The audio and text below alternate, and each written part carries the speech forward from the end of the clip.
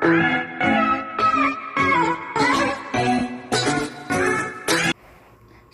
to all mga kaoben! Shoutout to all Mardi Nation! Yan, eh, reaction ng video natin to kalokohan ng ating Mariana G guys. Grabe. Nahuhumaling sa mga ganda sa TikTok. I-reaction video natin to kasi natutuwa ako sa reaction niya dito. Pag yung, alam mo yung pagtitirik na lalo yung mata niya, talagang tayo i, ano eh, matatawa na, grabe. So yun guys, ayan, panoorin natin ang ating Mariana G TV. Ang ganda. Oops, sexy. Yun, sexy. Ganyan mukha mo, ba't ka matamlay? Marami akong nararamdaman ngayon. Oh, marami daw siya nararamdaman. Nagkita ng mga sexy, maraming nararamdaman. Ano kayong nararamdaman? Parang sa yung braso ko ah. Tsaka yung legs dito ang sakit. Sakit? Tsaka yung dito sa balakan. Mm. Tsaka yung ulo, parang larag na tinatawag yung ano na to ah. Ah, best actor. Grabe. Lahat sumakit. Nakapanood lang ng mga sexy ano, bae. Parang gusto Ah. sa, Sa ano? Sa hospital. Sa ospital? Ay, gusto mo. Ah, gusto niya magpadala sa ospital para magka, maano niya, makita niya, ma- makakita siya ng ganon. Ng mga gandang babae nakasuot ng puti, mga sexy, mga nurse. Kasi, kasi ako, may sinisikon-sikon pa ako. Ay, di mo kaya nga pa. Ay, di mo Sumisikon dibdib. Ay. Parang ano? Ikaw na yung pa-nurse no? Pa-nurse. Bahay, pag-produce na lang. Ano? Ang nurse sa ospital, hindi nasa kwarto, hindi nasa kama. Ha? Bakit? Tsaka hindi ganun yung uniform ng nurse. Pwede rin yun.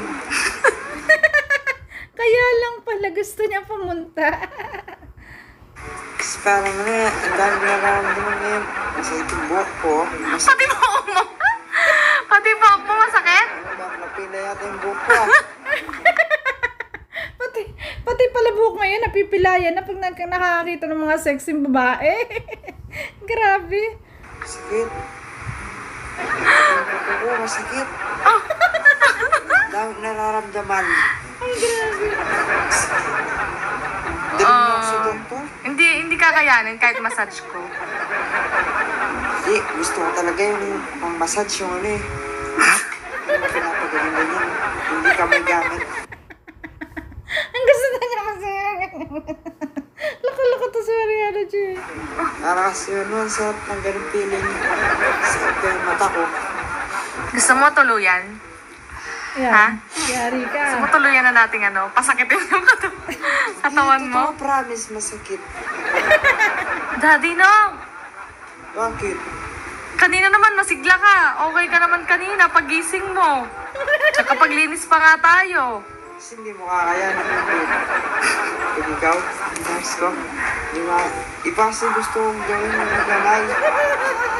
sa- Gusto niya ipagawa sa asawa niya. Hindi na makayanin. Kaya magpapa-hospital na lang siya. Kamay!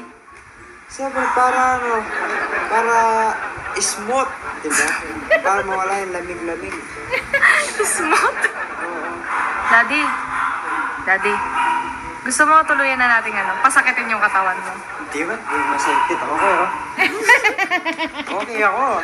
Okay ka, okay ka. Oh, ayos lang. Ay, ay, ay. Biglang bumango.